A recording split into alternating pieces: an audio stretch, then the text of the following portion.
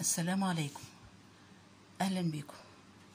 آه، الفيديو اللي هعمله معاكم النهارده آه، فيديو أكيد محتاجين لي إحنا محتاجين له كلنا في الوقت في الشهر ده بالذات آه، في بداية شهر ثلاثة واواخر شهر اتنين كده آه، عشان وجود التوم الطازة اللي موجود في السوق. فكلنا بنستغل فترة وجوده بقى بكثرة وهو لسه موجود طري عشان نخزنه آه، في مفروم وجاهز بس عايزين النهارده نتكلم إن إحنا هنخزنه بطريقة جميلة جدا. آه، هتريحك طول السنة. وفي نفس الوقت هتبقى آه، طريقة صحية آه، يعني صحية آه، جدا جدا. آه، وفي نفس الوقت طريقة استعماله سهل قوي لما بتيجي تخرجيه من الفريزر. يعني الطريقة اللي هقولك عليها النهارده آه، بتطلعيه من الفريزر كأنك لسه فرماه بالشكل ده. يعني إيه يعني ما بيبقاش متجمد وناشف ومستنية لما يفك. يعني لو خزنتيه خمس ست شهور سنة ايا كان الوقت فأنت بتطلعيه من الفريزر كأنك لسه آه، فرماه مش متماسك ابدا. يعني أقول لك إزاي بتخليه آه، مفكك كده يعني مش مش متجمد رغم إن هو في الفريزر. وطبعا أقول لك إن آمن طريقه لاستعمال الثوم المفروم إن هو لازم يبقى في الفريزر ونطلعه نطلع ناخد منه اللي إحنا عايزينه ون- ونقفل العلبة وندخله تاني الفريزر لأنه مش هيتجمد ابدا. ما ينفعش أنا أفرم أي كمية وأحطها على رف التلاجة واستعمل منها أسبوع أسبوعين أو شهر. ده غلط جدا. ده من الحاجات اللي هي آه، ده من الأخطاء اللي الناس بتقع فيها. يعني تجيب علبة أو أي حاجة وتملاها وتقول ده هستعملها في خلال الأسبوع أو في شهر أو أي حاجة وتخليها على رف التلاجة. ده مش حفظ الطعوم السليم. آه كمان في حاجة تانية آه آه الناس بت بتحط زيت على التوم.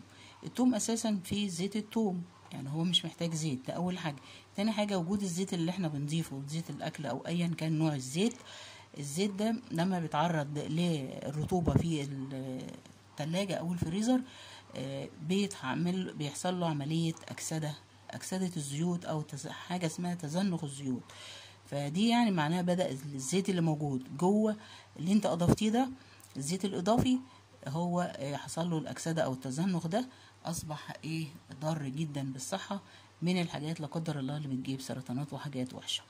ده الحاجات اللي- يعني الملحوظة اللي أنا كنت عاوز أقولها لك في تخزين التوم. لا تضيفي زيت وهقول لك الإضافة اللي هي هنحطها واللي مسموح بيها واللي بتحافظ على آه، التوم بتاعك مفرول كده ومفكك مش متجمد مهما كانت مدة تخزينه وكمان هيحتفظ بريحته كاملة وكأنك لسه فرمه وبعدين إحنا فرمينه إيه؟ فرم إيه؟ قطع كده. يعني مش عاملينه زي المعجون بحيث إن هو ما تعرفيش كميته. يعني لو فرمتيه زي... أنا مش هفرمه في الكبة بتاعة اللحمة ولا حاجة لأن في ناس بتفرمه في الكبة بتاعة اللحمة. الفرم ده بيخليه نازل زي المعجون.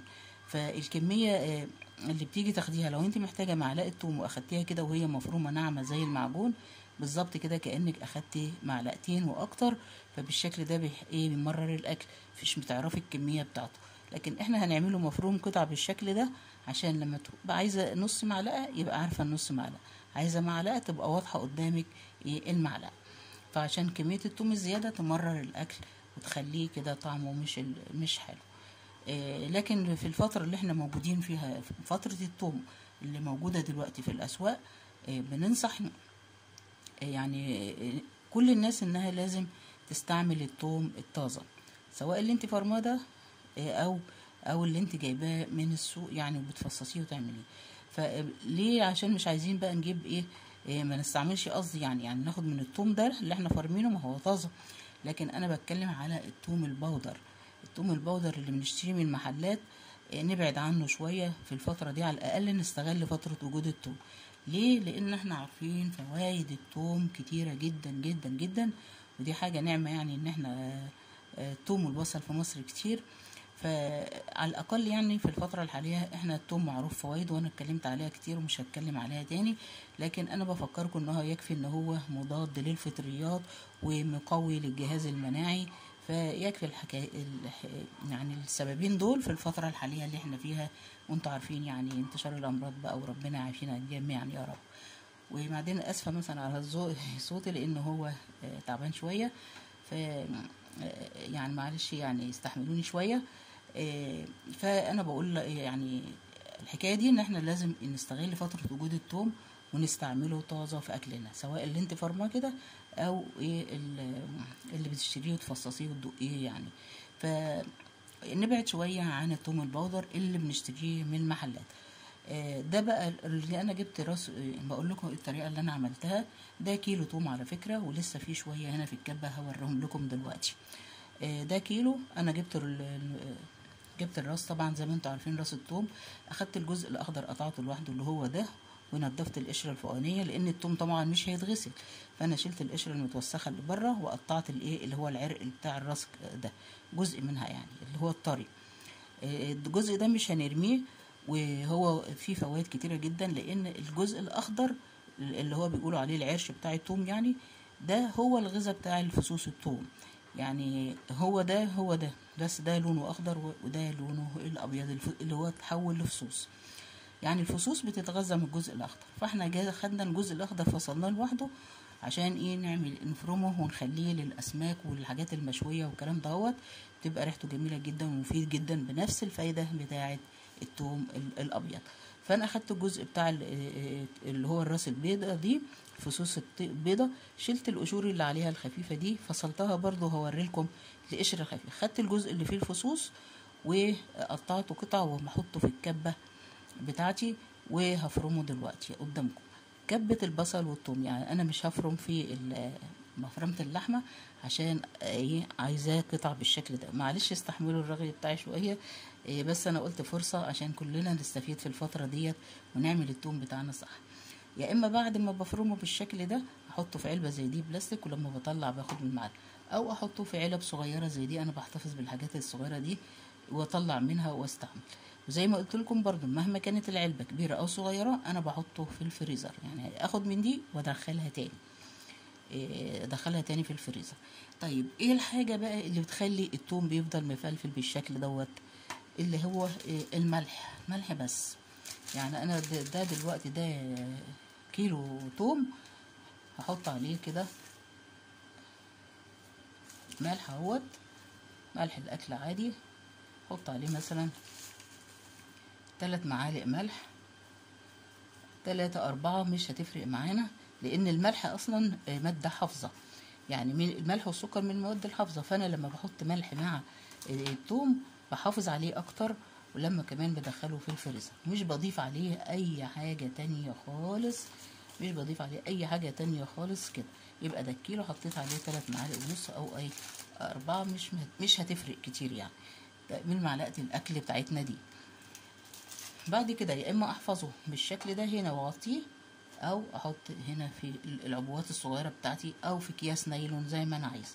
يعني أنا لو ما عنديش علب زي دي بجيب أكياس نايلون وبحط فيها ده وآخد كيس بكيس أفتح بس بيبقى صعب طبعا في الاستعمال أو أحطه في برطمانات بتاعة العسل بتاعة المربى أي حاجة. بس دايما وبحط عليه الملح. أنا لما بطلعه بقى من الفريزر بلقاه بالشكل ده مفلفل كده. ليه حطيت ملح فقط ومش بحط زيت؟ وزي ما قلت لكم. إيه، أنا بقى هفرم قدامكم دلوقتي شوية في ال- ال- الكبة وهلاقي عشان تشوفوا نفس المنظر ده. الله معلش استحملهم صوت ال- الكبة شوية.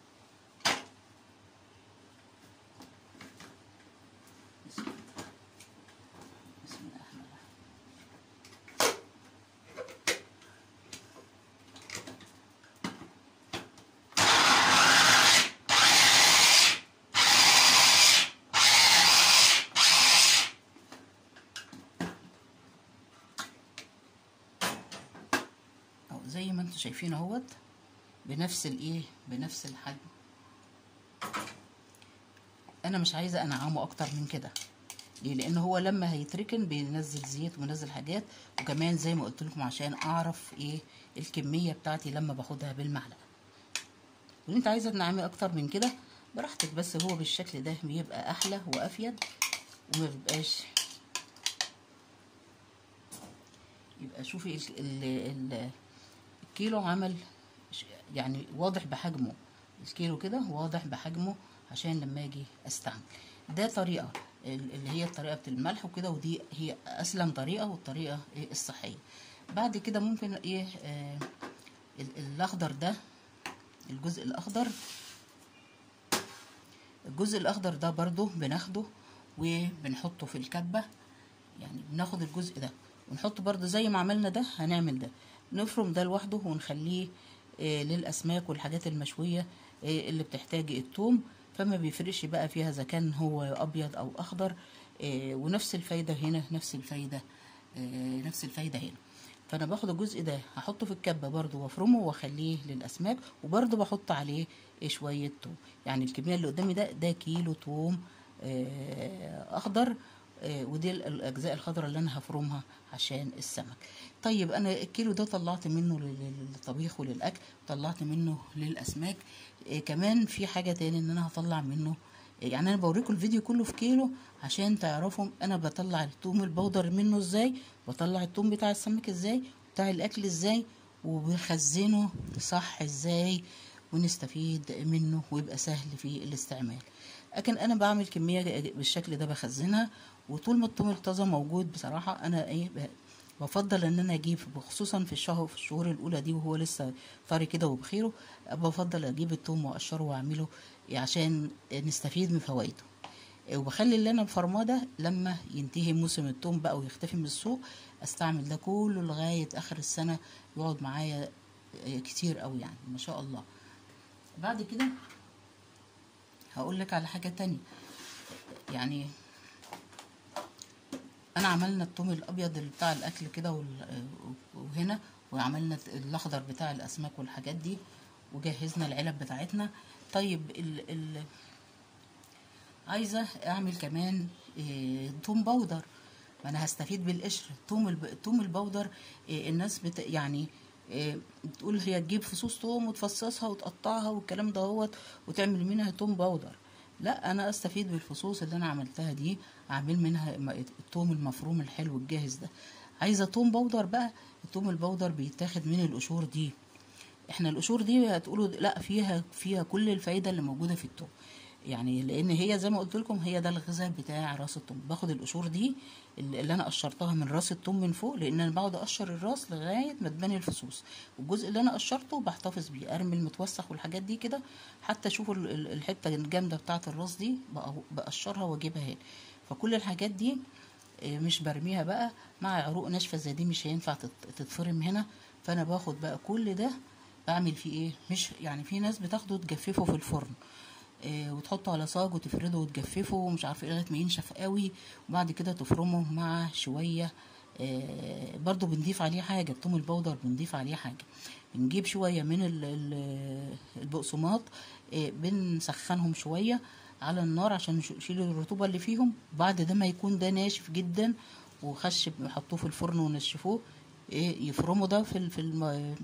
في في الكبة الأول عشان يقل حجمه. وبعد كده لو لقوه لسه خشن يتفرم شوية في الكبة بتاعة الخلاط عشان يبقى ناعم قوي. بعد كده بنضيف عليه وإحنا بنفرمه شوية من البقسماط. لكن أنا دلوقتي ده مش هينفع إيه أعمل أنا ما بعملش الطريقة دي. أنا باخد ال ال الكمية اللي هي اللي أنا مطلعاها نضيفه كده اللي هي كل الأوراق ما بستعملش فصوص. أنا أنا الفصوص زي ما قلت لكم بعملها بالشكل ده. لكن الثوم البودر عموما إيه باخده بالحاجات النظيفه والعروق اللي هي دي باخدها. يعني ده مثلا عرق طري ممكن أحطه هنا وأفرمه. أما العروق دي والأوراق القشر ده باخده بنشفه تجفيف هوائي. مش مستعجله عليه لأن أنا مش هحتاجه دلوقتي. أنا باخده بحطه في في قماشة تل إيه عشان القماش التل بتاع الطرح بتاع العرايس ده اللي أنتوا عارفينه يعني. القماش التل ده فيه فتحات صغيرة جدا بتبقى مهوية.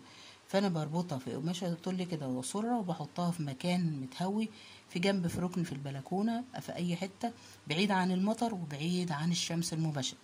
بسيبه لما ينشف بقى براحته أنا مش مستعجله عليه ومش محتاجة توب بسيبه لما ينشف خالص وأحس إنه بقى زي القش آخده أفرمه في الكبة بدون تسخين عشان تفضل فيه ريحة التوم وتفضل كل فوائده لانك لو سخنتيه في الفرن كده كل الريحة اللي فيه طارت وما بقاش فيه ريحة توم. انت بنجيب توم بودر ساعات بنحس إن هو عبارة عن شوية بقسماط ما لهمش أي إيه لا طعم ولا ريحة هو مجرد كده حاجة بنرشها.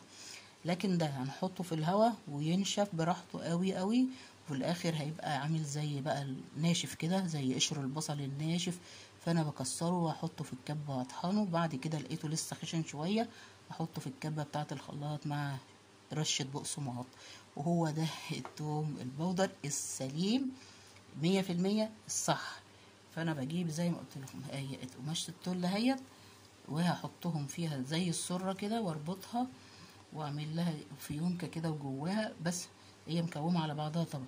هلم ده كله لأن أنا لسه عندي شوية توم تاني هلم برضو كله. بس أنا جبت لكم كيلو بقول لك أنا بطلع منه البودر طلع منه للسمك وطلع منه المفروم. المفروم اللي بنعمله للأكل والطبيخ وزي ما أنتم عارفين البامية بقى والملوخية والحاجات الجميلة.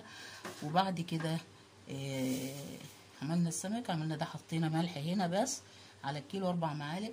ونحتفظ بيه في الفريزر وازاي بنستعمله بدون إضافة زيت وما نطلعوش من الفريزر خالص عشان يبقى صحي مية في المية. وهي ديت معلش أنا رغيت كتير في التوم. إيه عشان أقول لك كل حاجة عن التوم. هنا البودر وهنا بتاع السمك وهنا زي إيه بيبقى صحي إزاي وإزاي بتضيفي إيه هي حاجة واحدة بس. هنا بنضيف الملح في التوم الناشئ البودر بنحط شوية بقسماط مجففينهم في الطاسة. وبكده يعني أكون أنا فعلا طولت عليكم كتير قوي. بس إيه قلت لكم كل حاجة صح عن التوم. إيه وأنا جبته متقشر جاهز عشان أنا كنت هتكلم كتير فمش عايزة كمان أضيع الوقت. وأقول لكم بنقشرها إزاي. طبعا كلنا عارفين بنقطع الرأس وبنقشرها إزاي بننضفها إزاي. وزي ما حضراتكم شايفين أتمنى يا رب تكونوا استفدتم من الفيديو بتاع التوم. وفرصة إن التوم موجود. ما تتأخريش في عمل التوم لأن كل ما هينشف هيضايقك في الفرن. لأن هو دلوقتي معقول جدا. والفصوص واضحة وجميلة وهتستفادي من القشرة الطرية اللي بره راس التوم والقشرة الخضراء والقشرة اللي بنعملها بودر. لكن لو عايزة تخزنيه بقى بالروس وكده ممكن تنتظر عليه شوية لغاية ما يجف عشان إيه, إيه تجيبيه وتخزنيه بإيدك. إيه وأتمنى يا رب إذا كنت أفدتك بفكرة أو معلومة تبخلوش عليا بالاشتراك في القناة واللايك والشير. تحياتي عزة السلام.